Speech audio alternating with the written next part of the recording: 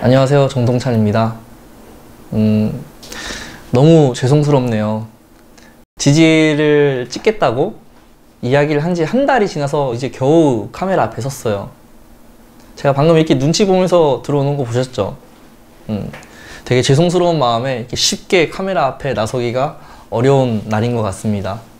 음, 오늘 얘기할 거는 지지, 지지에 대한 이야기의 예고예요, 예고. 지지론, 지지론 예고예요, 지지론 예고.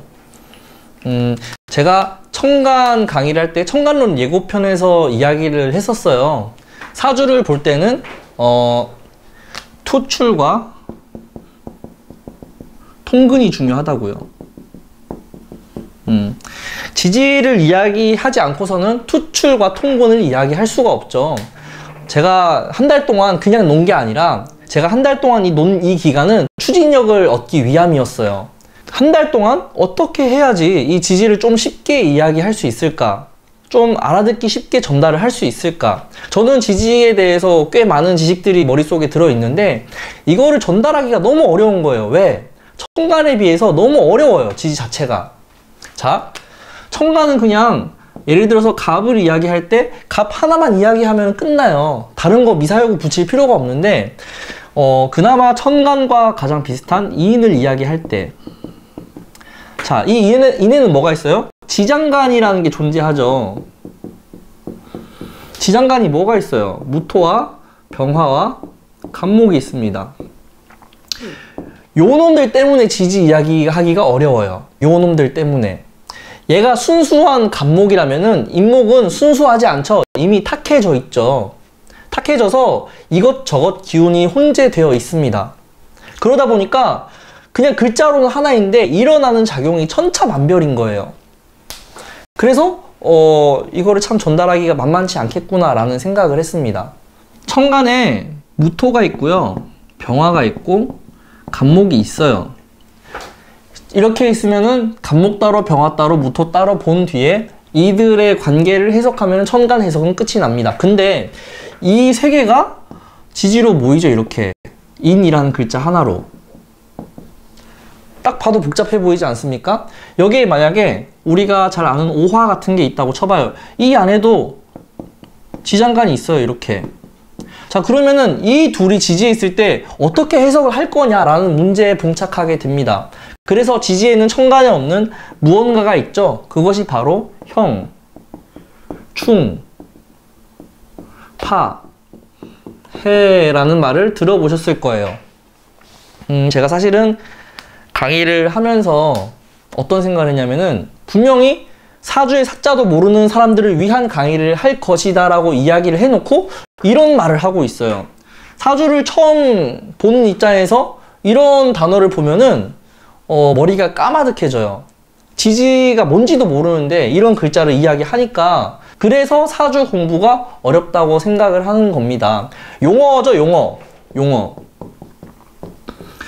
우리는 이 용어 때문에 사주 공부가 어렵다는 사실을 분명히 인식을 해야 돼요. 사실 별거 아닌데 이 용어 때문에 잘못 배우면은 이런 것들만 보게 됩니다. 이를테면 모르니까 인터넷에 검색을 해봐요. 형이 뭔지, 충이 뭔지, 파가 뭔지, 해가 뭔지 검색을 하는데 사실 좋은 말이 별로 없어요. 사주의 형이라는 말을 검색해보세요. 좋은 말이 없어요. 형벌을 받는다라고 얘기하죠. 감옥 간다고 이야기합니다. 유치장에 간다고 이야기를 해요. 충. 그냥 딱 단어만 봐도 뭔가 부딪히고 깨지는 것 같잖아요. 충 맞아서 일이 잘못 틀어졌다고 이야기들을 해요.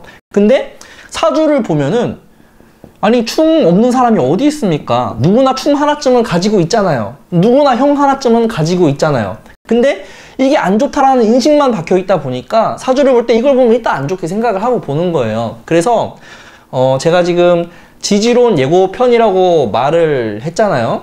여러분들이 지지론을 듣기 전에 가장 먼저 선행해야 될 거 용어를 다 지우셔야 돼요, 일단. 머릿속에서 요런 용어를 다 지우셔야 돼요. 그게 첫 번째 선행 조건이에요. 그래야 어, 이 지지에 대한 이해가 좀 더 확실하게 되지 않을까 생각을 합니다. 만약에 사주의 사자도 모르는 사람이 이 강의를 보고 있다면 행운인 거예요. 왜? 이런 단어를 모르고 배우면 되니까요. 자, 투출과 통근에 대해서 이야기를 해보겠습니다. 투출이란 무엇이냐? 지지에서 청간으로 뚫고 나가는 것을 이야기해요. 통근은 무엇이냐? 청간의 근거가 지지에 있을 때, 청간 활동에 대한 근거가 지지에 있을 때 통근이라고 이야기를 합니다.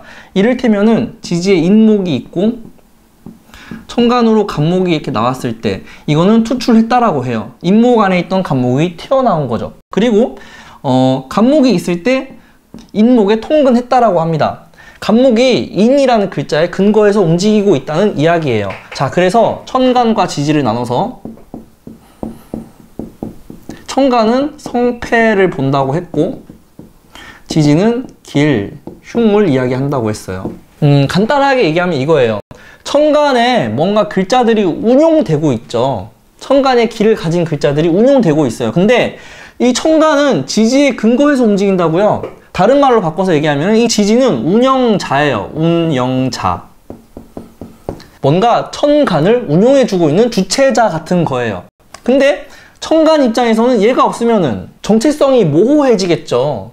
천간 입장에서는 운영체가 돼요. 자, 그래서 이쯤에서 이야기하고 싶은 게 일간의 신왕 신약입니다. 왜 그렇게 사람들이 일간의 신왕 신약을 중요하게 생각을 할까? 일간의 신왕 신약 물론 중요합니다. 자, 왜 중요하냐면은 일간은 나잖아요, 나. 자, 나라는 게 무슨 말이냐면은 그 사주에 여덟 글자가 있는데 이 여덟 글자 중에서 일간 입장에서 주제하고자 해요. 이 글자 한 개가 나머지 일곱 개를 주제하려고 해요. 주도하려고 한다는 거죠. 그래서 나인 거예요. 자, 근데 이 일간이 지지에 통근이 되어 있어야 그 주체자로서 확실한 힘을 가지죠. 지지에 근거가 없다면은 일간이 어떻게 힘을 가지겠어요? 그러니까 이 한 글자가 나머지 일곱 글자를 주도하기 위해서 힘이 필요하다는 거예요. 어떤 근거를 가지고 있는. 그래서 신왕, 신약을 따져요. 좀 더 다르게 이야기하자면은 우리가 이제 보는 관법 중에 하나가 격국이라는 게 있죠. 격국. 격국론이 있고 억부론이 있어요. 일간을 위주로 보는. 월지를 기준으로 보는 격국이 있고요. 일간을 기준으로 보는 억부론이 있습니다. 한마디로 이야기해서 모든 사람들이 다 파격이니까 모든 사람이라고 하면 안 되죠. 대부분의 사람들이 파격이니까 일간 위주로 보기 시작하는 거예요. 성격이 별로 없어요. 제가 봤을 때는 90% 이상은 파격이라고 봅니다. 저도 파격이에요. 어, 격에 대해서는 나중에 더 이야기를 하겠지만은, 음, 지금 강의는 제가 뭐, 제가 생각하는 사주의 관점에 대해서 알려드리는 거니까요. 받아들이는 건 여러분 몫이에요. 자, 여기까지 진행을 했는데, 그 사주를 처음 접하신 분들, 사주의 사자도 모르는 분들은 이게 다 무슨 말이야 이렇게 얘기하실 거예요 아마. 그러시다면은 그냥 넘어가시면 돼요. 뭐 제가 말한 형충파에 한번 검색을 해보시고요. 그냥 다 잊으시면 돼요.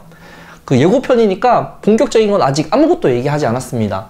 제가 이제 어떻게 진행을 할 거냐면은 첫 번째로는 어, 글자에 관한 이야기를 할 거예요. 글자.